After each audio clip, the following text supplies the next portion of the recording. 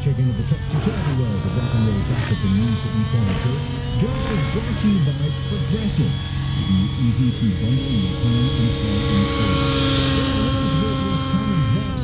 A pretty rocky start to their European tour with Three Days Grace.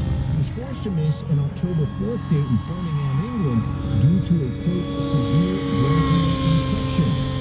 Ward still performed the Birmingham show, however, as Lions frontman Austin Dickinson and Anastasia Walker from Bang Bang Romeo agreed to fill in with only 24 hours notice. Vox was later released from the hospital and was able to rejoin the band for October 5th in Bristol. That's all the dirt that's good for this since we're talking bad words. Let's do Here and Now on Hard Drive.